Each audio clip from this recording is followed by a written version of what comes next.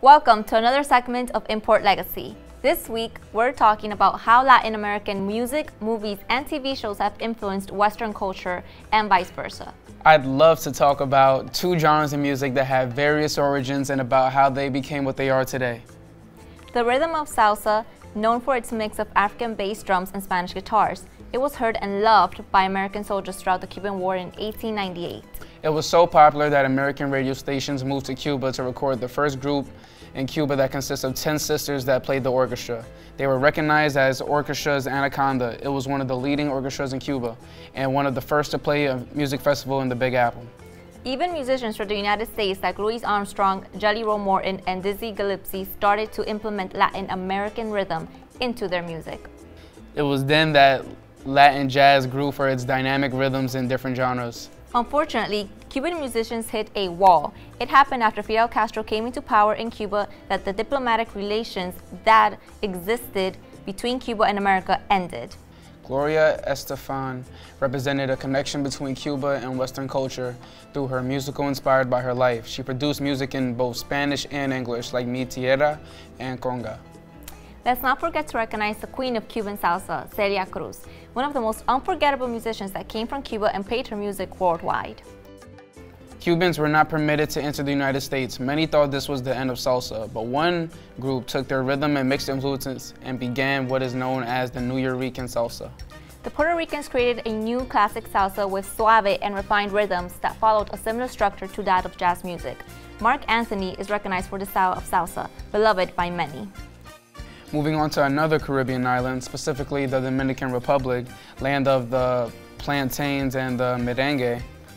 Merengue típico is the name of the original genre that was very popular in the mid-19th century. It was considered as the music for the lower class. That is, until Trujillo, past dictator of the Dominican Republic and avid merengue fan changed all of that. In the 30s, Trujillo asked a variety of bands to write merengue music to promote his political agenda. His dictatorship was recognized as a reign of terror for many Dominicans. Their somber state was reflected in their merengue. It was after his assassination in the 1960s that merengue began to incorporate other styles of music. The genre was influenced by the modern, liberal, and dances from the United States, forever changing the rhythms of merengue. The first to promote merengue known worldwide was Johnny Ventura, one of the people who helped bring merengue to radios and television even using combinations and rhythm from American rock and Cuban salsa that moved many Western culture. Now, we find ourselves moving onto the big screen of Latin American films. Behind the big Hollywood sign are Latin American directors blowing up the box office. Starting with the influencer Alejandro Gonzalez, winner of various awards and director of The Revenant. We can't forget about Guillermo del Toro, director of The Pan's Labyrinth, and also recipient of various awards. Latin American culture has even influenced American television shows. For example, the famous telenovela Ugly Betty that had been adapted for American television. And how could we forget the success of the telenovela Jane the Virgin? It's my favorite. Hmm.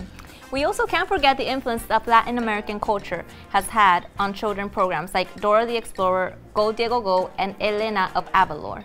Recently, you can see the influence of Western culture in animated films.